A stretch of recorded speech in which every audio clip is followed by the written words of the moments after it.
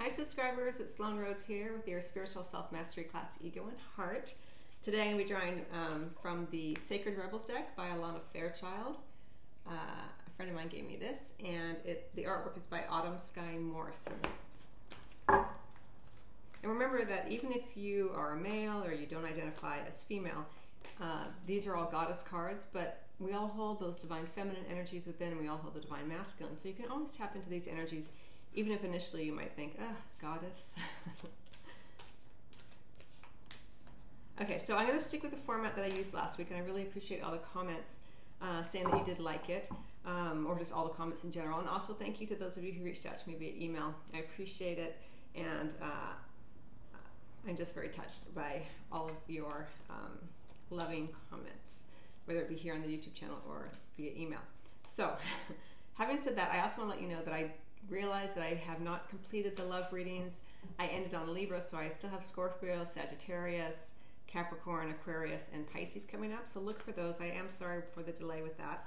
Um, but let's go ahead and get started. So one card in position of what the ego may try to distract us with, and then that same card I'm going to look at from the heart-centered perspective so that you can recognize where your ego is coming in, and then you can also recognize where your heart is opening more and you're able to look at the situation in a more loving, expansive way.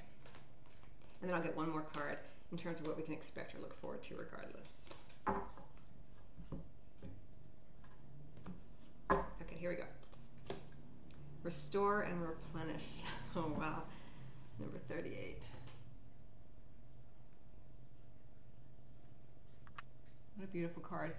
And, you know, I mean, it's what I've been doing. It's what many of you have been doing, either consciously or unconsciously sometimes when the ego looks at a card or an energy such as restore and replenish or a message around restore and replenish, the ego, and you know this already for those of you who have uh, been attuning more and more to how the ego comes in around this idea of rest, relaxation, restoration. Um, the ego can look at that in, in a very negative way. Like, what are you doing? You should be up and about. You should be doing more uh, this when is this going to end? When is this fatigue going to end? Get up, get moving, uh, be productive, and that is a very harsh, older kind of consciousness around the need for replenishment, the need to replenish your energy, the need to um, allow uh, the restorative process to occur within your physical body, your emotional body, your spiritual understandings. And so the ego will look at it and say, no, no, you're lazy. You should be doing more. Everything's going to fall apart if you don't stay on it. Keep moving forward. Keep driving. Keep striving. You know, the ego is always like grasping more and more and more. But in the heart centered energy, say, look, just have this experience. Rest. You are safe right now. You're, it's okay to restore your energy, to be kind to yourself, to get in a snuggly blanket or to have a nice cup of tea or to take time out throughout the day. Because for some of you, you may be undergoing an experience um, that precedes this week and goes and has been maybe going, going on for a while or may go in, into the future more than just this particular week of wanting to pull in more, of wanting to uh, allow yourself some space to integrate a lot of what you may be um, understanding spiritually or just a lot going on in your life. You know, it can show up in a lot of different ways. And um, so, you know, if that's the case, then, you know, be as kind and loving to yourself as you can be during this, what may be a more lengthy process. But for those of you who that just feels too stressful to even imagine taking that kind of time for yourself, or even there may be a forced illness or a forced accident that occurs that makes you take time out from what has been the norm for you, um, but for those of you who are still trying to grind away, you know, they, you don't feel like you're really ready to um, spend that kind of time, where you're not, it's not in your conscious awareness right now that you're able to. What I would recommend is that throughout the day, just take a breath. You know, as I say this all the time, put your fingertips to your heart chakra.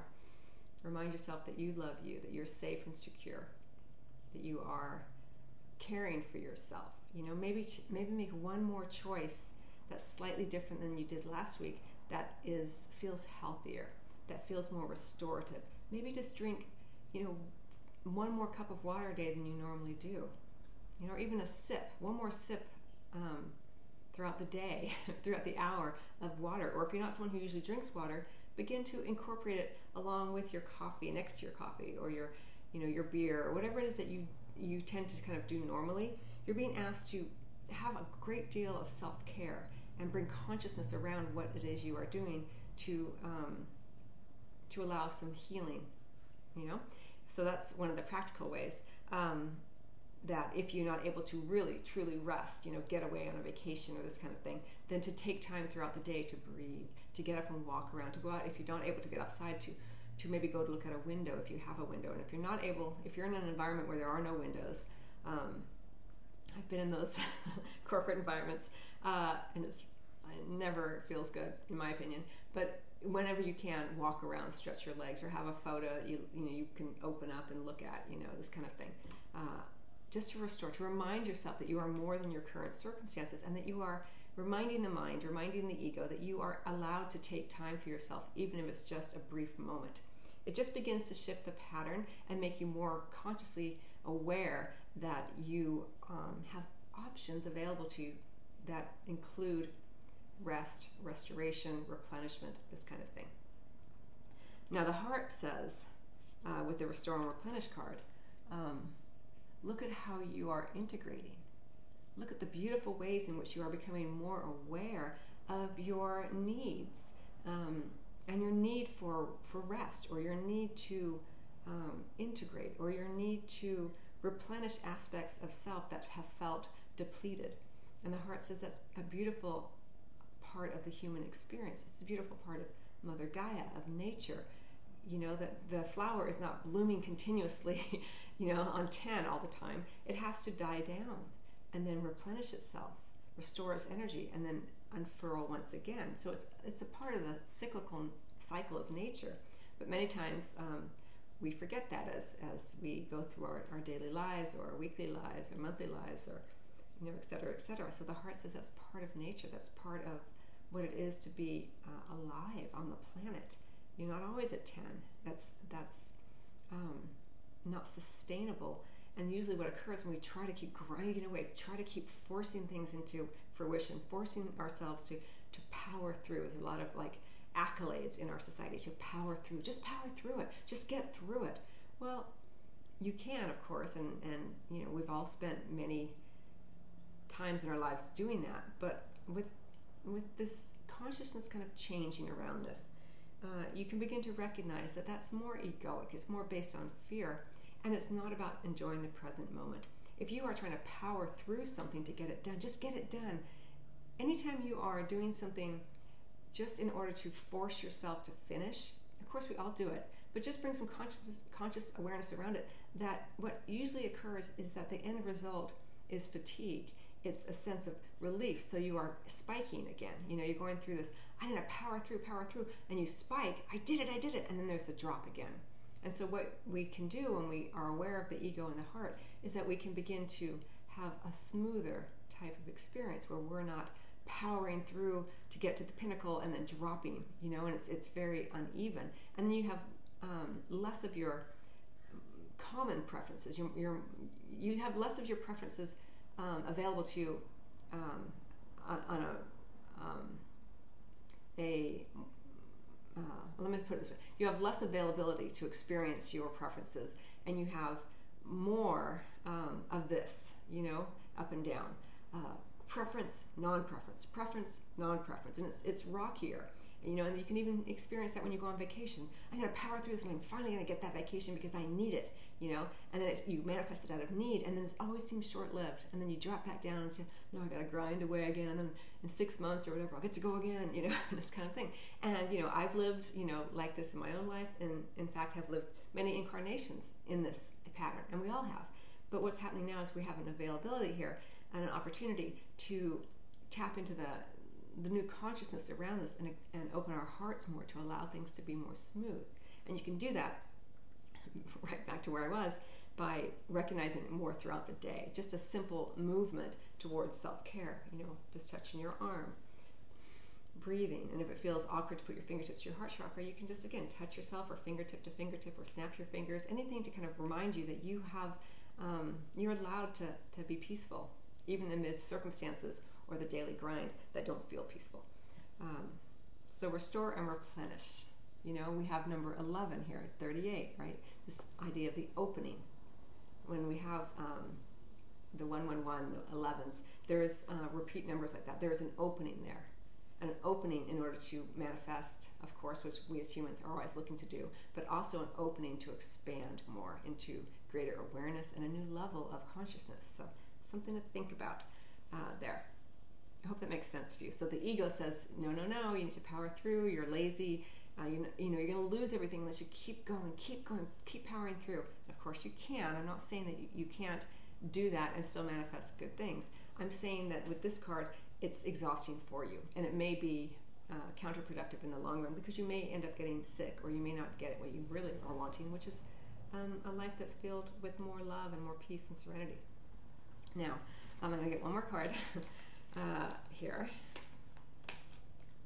to look at what we can expect or look forward to regardless. And it doesn't have to be a crazy making experience toggling back and forth or becoming aware of the ego and the heart. It's just something to kind of be like, oh, hmm, I think I might be in my ego right now because I'm really judging myself because I'm not able to get up out of this chair and do what I'm supposed to be doing. You know, that's right there, that's the ego. But just having the thought, huh, I wonder if that is my ego. Uh, even having that thought begins to shift the pattern. And you don't even have to do anything other than that, just in the moment. Um, but if you want to take it further, you can say, all right, so if my ego is judging myself right now, how can my heart look at this? And the heart can look at it and say, my goodness, look at how hard you've been working. What a beautiful soul you are. Look at the act of kindness you are doing towards yourself right now by resting, allowing your body to recuperate, allowing your mind to, to um, calm down, to connect more with spirit, this kind of thing. So, you know, it doesn't have to be crazy making, but it can, um, it can be done in a, in a very kind of more playful, gentle way. All right, so let me get one card from the Sacred Rebels deck in terms of what we can expect or look forward to regardless throughout the week. So we have Restore and Replenish.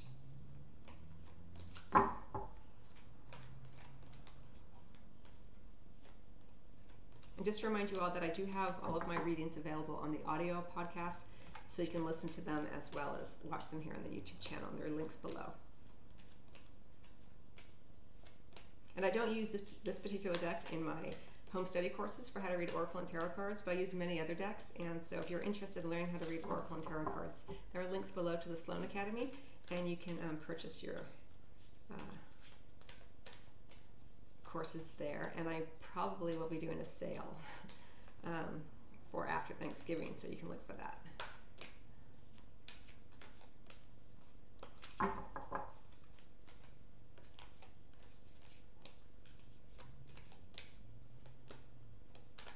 What can we expect to look forward to throughout the week.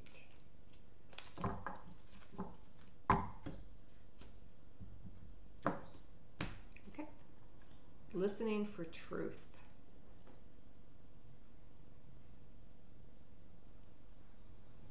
Well, this must be why part of the reason why we have to restore and replenish, right? So, this idea of taking time out.